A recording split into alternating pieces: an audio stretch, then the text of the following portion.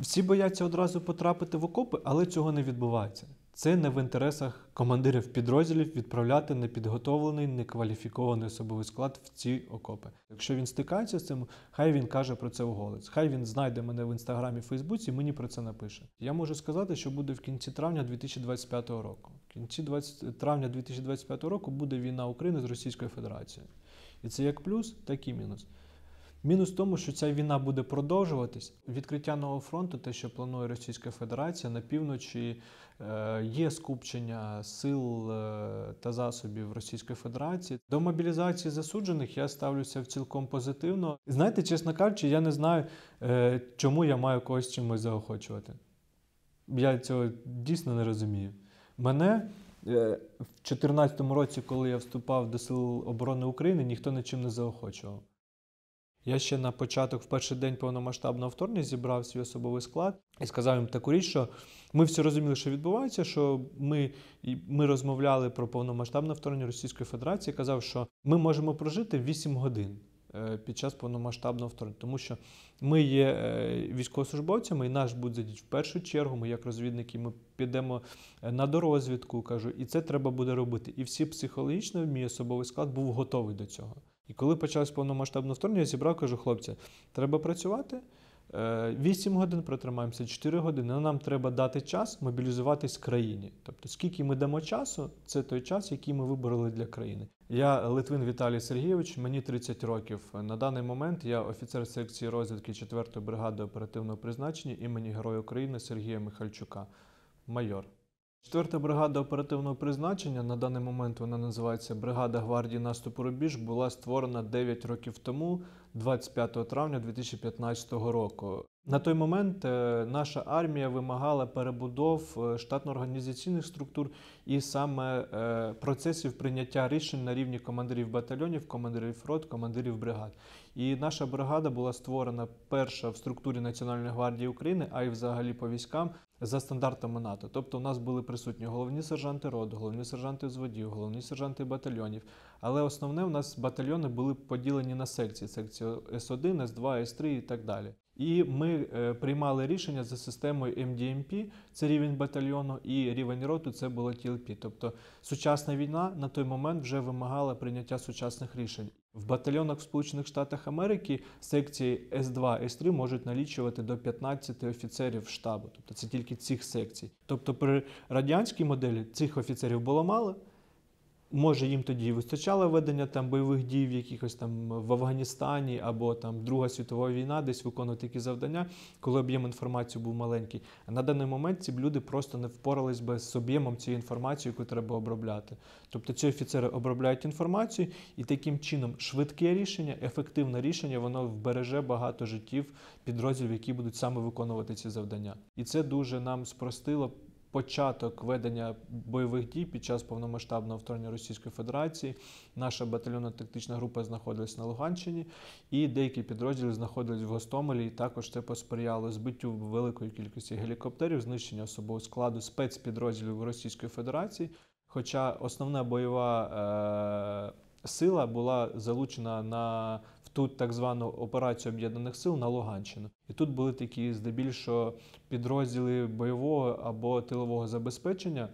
Які залишилися в ППД в Гостомелі, і навіть бойовий досвід і досвід міжнародних навчань по стандартам НАТО допоміг е, стримати ворога на е, Київщині. Сказати, що були якісь там, як кажуть, чмоні, були вони там всілякі, були і на підпитку, і під наркотичними речовинами, і були професіонали, які ефективно виконували свої завдання. Але е, можливо не вистачало в них мотивації, можливо, не вистачало професіоналізму, можливо, не вистачало якогось досвіду. І що Гостомель, що на Луганщині ми постійно ефективно знищували ворога і групами військовослужбовців з розвідки. По вісім чоловік просто знищували особового складу до взводу. Це включно СОБРи, Ахмати і їхні десантники. Просто з розумінням і з мотивацією, за що ми боремося, і що ми готові віддати тут життя. Я якраз на початок е, повномасштабного вторгнення Російської Федерації знаходився в батальйонно-тактичній групі, яка виконувала завдання на Луганщині. І на той момент мій особовий склад, я тоді був командиром взводу розвідки спеціального призначення в батальйонно-тактичній групі. Ми були цілком готові до ведення бойових дій. Ми були забезпечені озброєнням, боєприпасами, приладами нічного бачення. В мене в підрозділі були квадрокоптери, була автомобільна техніка, бронетехніка. І я вже розумів, що нам треба робити. Вже коли лінія фронту зсунулася, трошки ворог на напрямку Рубіжного, там Старобільська, окупував території, то потім нашу батальйонно-тактичну групу з Сєвєродонецька перекинули на отримання населеного пункту Рубіжне. Ворог там не те, що переважав, е, там він просто вражав своєю кількістю і нахабністю, як він застосовує артилерію та свої піхотні підрозділи. І перші тиждень боїв, і мені, типу, командир батальйону тактичної групи каже: є типу, інформація, що ми знищили вже близько двох батальйонів е, там бригади окупаційних військ Російської Федерації. Я в це не повірив. І потім, коли ми взяли в полон одного з командирів роти цієї бригади, він каже: дійсно, у нас каже там перший і третій батальйон. Ви каже, його знищили за перший тиждень, просто коли ми штурмували ваші позиції. Каже, ми просто не розуміли. е, Як і куди нам висуватися, Е, щоб ви розуміли, ми з 57-ї бригадою виїжджали. В мене був два бронеавтомобіля «Новатор», е, в кожному по 4 розвідника, дві БМП 57-ї бригади, на кожній БМП там по 4 по 5 їхніх розвідників. Це, грубо кажучи, нас було там 20 чоловік, два БМП, два бронеавтомобіля, і ми їхали зустрічати колону, де було ну, близько 40 одиниць техніки.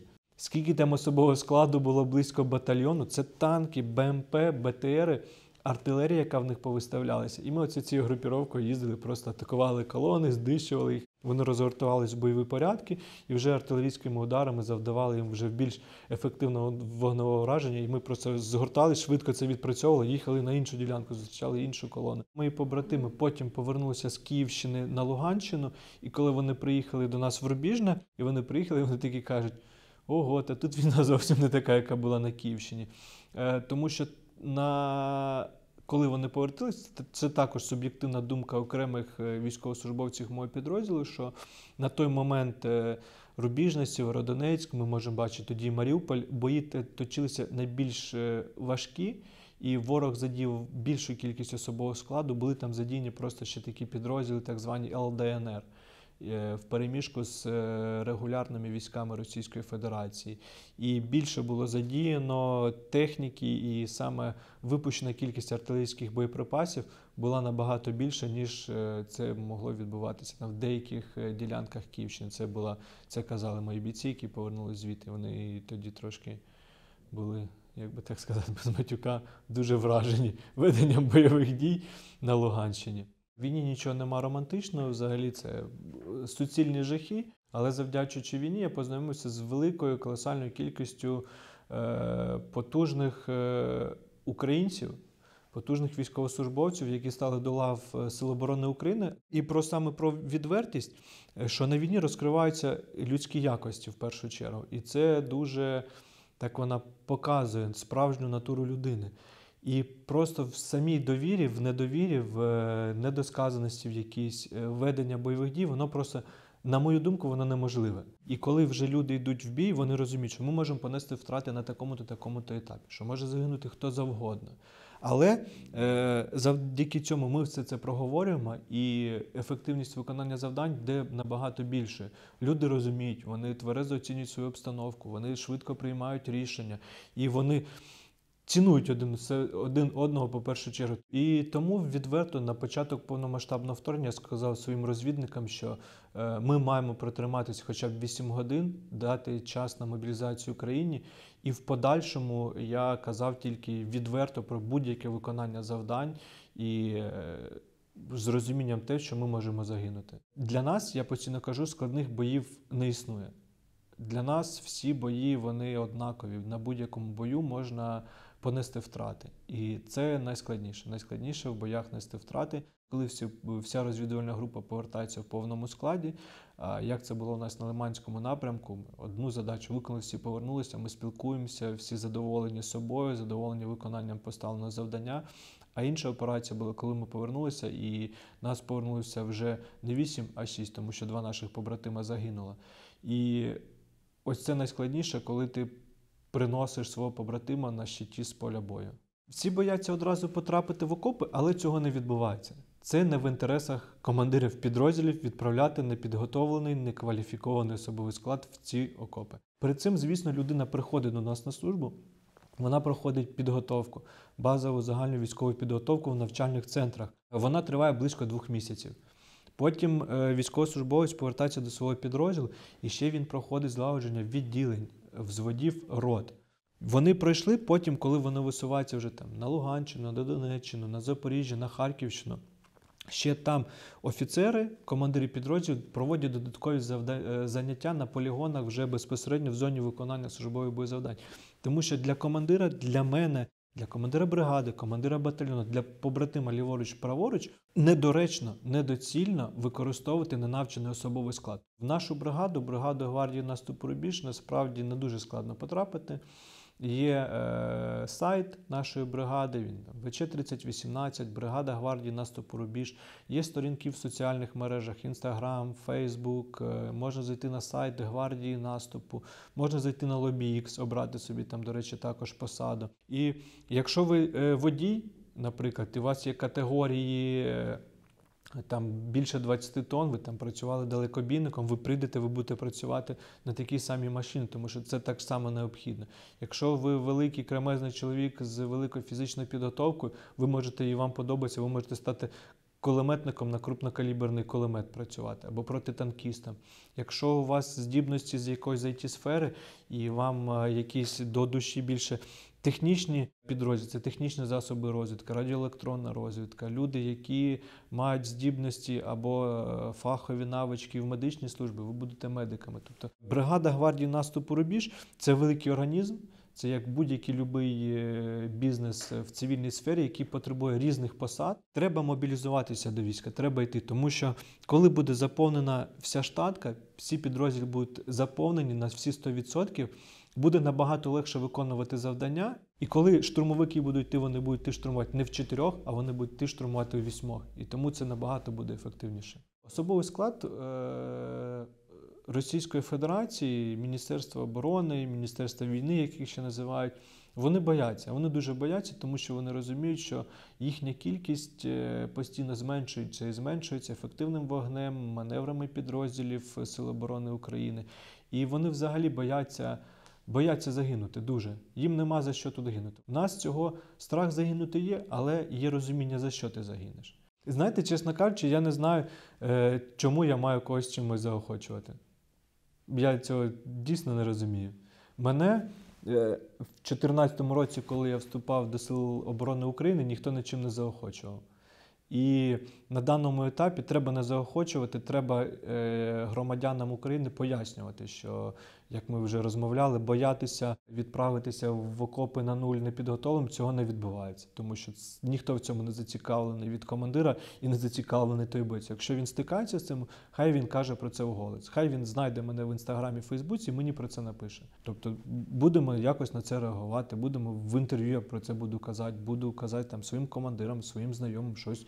Ну, відбувається ганебство, відбувається якесь знищення нашої нації нашими ж е, громадянами, яке не має це відбуватися, за це мають нести е, ті чи інші посадові е, особи покарання. І заохочення це підготовка в нашому підрозділі, технічне забезпечення, е, супроводження при оформленні на військову службу, а держава нам гарантує соціальний захист, е, гарантує там виплати по пораненням. Ось на мені форма е, вся видана державою. В мене ще три комплекти цієї форми: ще зимова форма, ще тактичні рукавиці, ще додаткове взуття. Тобто заохочення, великий спектр озброєння, великий спектр посад е, і е, адекватні командири, тобто за яких я можу казати, що вони адекватні, вони приймають адекватні рішення. І чим більше долучиться до нашої бригади людей, ми їх навчимо, і потім всі спільно будемо набагато ефективніше виконувати ті чи інші завдання. Заохочення те, що в кінцевому результаті всі ми отримуємо наше існування. Наразі на даному етапі в нашій бригаді е, проводиться рекрутинг, мобілізація особового складу. е, Ми не укомплектовані на 100%. Здебільшого левова частинка, частина мобілізованих є, йде до Збройних сил України. А е, Національну гвардію цілком формують і мобілізують вже, як би знаєте, другою чергою. ТЦК мобілізують, тобто які там е, добровільно прийшли, і ТЦК розподіляє вже другою чергою розподіляють в підрозділ Національної гвардії України. Тому на плечі Національної гвардії України лягає ще додаткові обов'язки шукати собі мобілізований особовий склад і займатися активніше рекрутингом, щоб поповнювати свої лави. До мобілізації засуджених я ставлюся в цілком позитивно, якщо вони зголошуються і вони хочуть відстоювати територіальну цілісність, вони розуміють, навіщо це після кадрового підбору, якщо командирам тих чи інших підрозділів підходять е, люди, які були засуджені, чому б ні? Я б, наприклад, також свій підрозділ би набирав би, спілкувався, проводив- би бесіди. Якщо людина хоче, вона вмотивована, і тому треба виконувати, брати завдання. І я думаю, це буде також ефективно, але це рішення треба було приймати ще два роки тому, тому що ми вже реагуємо на те, що ми мали зробити раніше. Війна змінюється. Зараз війна йде здебільшого технологій. Технологій і інтелекту. Наприклад, з нашого боку, ми маємо виставляти тільки технології і тільки наш інтелект, тому що ворог нас переважає по кількості особового складу, по кількості озброєння, військової техніки і боєприпасів. У сучасній війні взагалі треба сказати, хто такий розвідник. Ось особисто для мене розвідник це в першу чергу інтелектуальна особистість. В першу чергу інтелектуальна. Тому що вона має, наприклад, е, розумітися на багатьох видах озброєння. Вона має розуміти тактику ведення бойових дій як наших підрозділів, е, починаючи від е, мотопіхотних стрілецьких батальйонів територіальної оборони, закінчуючи силами спеціальних операцій, головного управління розвідки, і також вона має розуміти ведень, тактику ведення бою противника. І е, також треба бути фізично підготовленим, тому що зараз ворог дуже постійно використовує дрони камікадзе, як ланцети, fpv дрони на великій відстані. І це треба бути витривалим, пересуватися на великій відстані.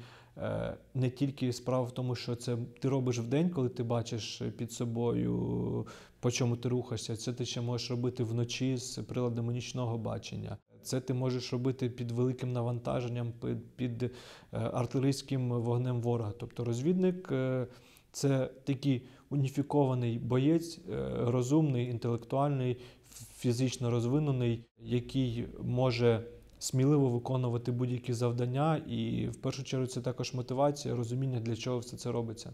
Коли бригада створювалася, ми на полігоні постійно збирались в коло після зарядки, після якогось виконання навчання, обнімалися і кричали, хто ми. Ми воїни, які ми, ми найкращі. Ми, тобто, ми воїни, і ми найкращі воїни. І е, девіз у, у Національної гвардії України є гасло три слова: честь, мужність, закон. Саме цих принципів четверта 4-та бригада оперативного призначення, бригада гвардії наступу рубіж цих принципів е, притримується. Призначенням нового командира в квітні цього року для бригади е, нічого не змінилось. Командир зараз приходить з усіма знайомиться, приносить якесь своє бачення, якийсь свій досвід, який не було в нас. І, е, на мою думку, що буде тільки покращення взагалі ситуації е, у всьому цьому. Тобто, а як може бути по Нам треба тільки краще, бо поміняємо командира. А таке може бути? Може. Ну, Демократична країна. А дивіться, е, вплив е, незалежних ЗМІ може бути на будь-кого. Тобто можна писати правду про нього, і просто до цього ма- мають прислухатися керівники, вони там можуть е, виправдовувати когось якісь вчинки, але розуміння і соціальний накал, що це дійсно правда, вони просто соціальні ЗМІ, е, незалежні ЗМІ можуть розкривати очі посадовим особам на їхніх підлеглих. Я пам'ятаю, здається, Юрій Бутусов розкривав тему з приводу, коли операторів БПЛА відправили штурмувати посадки. Хоча це навчені ефективні оператори БПЛА. Е, Соціальний е, розголос громадяни підіймають, публікуються на своїх сторінках, і це тисне на керівництво. Е, З... Але це тут треба бути дуже дуже обережним. Тому що інформаційно-психологічні операції Російської Федерації ніхто не відміняв, і вони можуть просто очорнити будь-якого військовослужбовця, який це виконує, тому це треба дуже бути обережним. Ну і взагалі про військових е, знаєте, багато ЗМІ притримуються, що нічого зараз написати не можна, і це, на мою думку, також можливо щось і правильно, можливо, десь щось і треба висвітлювати, якісь е, ситуацію, обстановку, щоб з цього робили висновки військово-політичне керівництво нашої країни. Бригада гвардії наступу рубіж зараз е, виконує службове бойове завдання на декількох напрямках. А саме це Харківський напрямок, Куп'янський напрямок, Лиманський напрямок і можна сказати ближче до Бахмутського напрямку. Також один підрозділ ще виконує службово бойові завдання. Ворог на всіх чотирьох напрямках використовує таку різноманітну тактику штурмових дій. Тобто на всіх цих напрямках противник постійно проводить штурмові дії. На харківському напрямку противник використовував е, менше е, броньованої техніки. І велику кількість особового складу на Куп'янському напрямку противник використовує велику кількість баги, баги і особового складу на цих баги, тобто раптовість, швидкість, зближення. Також вони там використовують мотоцикли. На Лиманському напрямку вони використовують бронетехніку для доставлення своїх е, підрозділів. Інший підрозділ, де виконують завдання, там вже змішане там і баги, і мотоцикли, і бронетехніка використовується. Тобто е, на кожному напрямку є якісь свої особливості використання підрозділів саме противником штурмових дій. І в нас така вже бригада, вона має досвід ведення бойових дій. При будь-якій тактиці е, штурмових дій противника маємо досвід і ефективно знищуємо як бронетехніку, як їхні баги, як просто живу силу.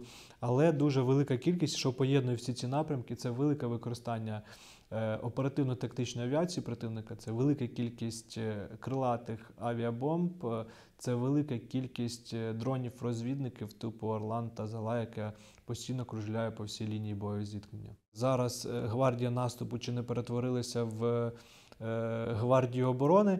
На даному етапі я можу сказати, що у нас всі міністерства Міністерства оборони. Тобто всі е, наші підрозділи е, десь хтось на тактичному рівні покращує обстановку. Тобто на харківському напрямку там наші підрозділи почали покращення тактичної обстановки для наших сил оборони України, десь відштурмувати, десь тіснити ворога. Е, на деяких напрямках ворог покращує своє тактичне становище. В нас на даному етапі не вистачає. Сил, засобів, артилерійських боєприпасів для якогось такого великого контрнаступу на будь-якій ділянці оборони України. А нам стримувати зараз треба ворога в обороні, і при обороні дуже йде ефективне виснаження. Виснаження ворога це знищення особового складу і знищення техніки та їхнє використання боєприпасів. Але для цього треба підтримка західних партнерів. Треба додаткові системи Петріот батареї. Мене запитали на початку травня 2024 року, що буде в кінці травня. Я дав таку відповідь. Я можу сказати, що буде в кінці травня 2025 року. В кінці 20, травня 2025 року буде війна України з Російською Федерацією. І це як плюс, так і мінус. Мінус в тому, що ця війна буде продовжуватись, а плюс в тому, що ми ще будемо існувати і ми будемо мати сили на боротьбу з Російською Федерацією. Відкриття нового фронту, те, що планує Російська Федерація на півночі, е, є скупчення сил е, та засобів Російської Федерації. Це саме в районі Сумщини, де противник ймовірно може розпочати проведення якихось наступальних дій, але це не будуть прям е, катастрофічні. Е, прориви до Сум, до Чернігова, до Києва. Це будуть такі ж самі розтягування сил, як і на Харків. Тобто чогось промагався ворог е, на Харкові. Це відкрити, як сказав Сильський, додаткові 77 кілометрів лінії ведення активних бойових дій. Це туди ми залучаємо додаткові підрозділи. Ми застосовуємо додаткове озброєння, витрачаємо додаткові боєприпаси, де б ми могли їх використовувати на Куп'янському напрямку. Е, відбивати напади, штурмові дії противника на населений пункт часів яр, на Покровському напрямку, на Запоріжжі десь покращити своє тактичне становище. Але ворог е, вимагає від нас використовувати ці боєприпаси по їхньому особовому складу на Харківщині. Таким чином, ворог може розтягнути додаткові наші сили, додаткові ресурси на Сумщині. І е, дивлячись на розвиток е, військової промисловості Російської Федерації, на їхню мобілізацію особового складу, вони можуть дозволити собі зробити відкрити ще одну ділянку і розширити ведення активних бойових дій ще і на інших прикордонних територіях нашої країни. Ми готові. Дивіться, будь-яке пересування особового складу ворога по їхній території, воно відслідковується. Це не буде раптовим. Наша прикордонна територія ще може рахуватися лінією фронту з Республікою Білорусь, де також залучені наші сили та оборони, і постійно очікуємо звідти напрямку. І постійно я можу сказати, що Національна гвардія України в північно-київському територіальному управлінні, підрозділи, які входять, вони розуміють, е, де на яких напрямках ворог концентрується, і Національна гвардія України, а саме бригада гвардії наступу рубіж, готова до відсічі ворога давати на будь-якому напрямку в нашій зоні відповідальності. Пам'ятаєте, я казав на початку нашої розмови, коли я своєму особовому складу сказав, що у нас є 8 годин. Ці 8 годин в нас продовжуються і далі. Ми живемо. І ці 8 годин у нас можуть закінчитися сьогодні. Прилетить ракета у нас через 8 годин. Ми з вами загинемо. І нам треба консолідуватися всім громадянам і громадянкам України для подальшого зростання, покращення обороноздатності і е, відстоювання наших інтересів, відстоювання нашої культури і подальшого існування.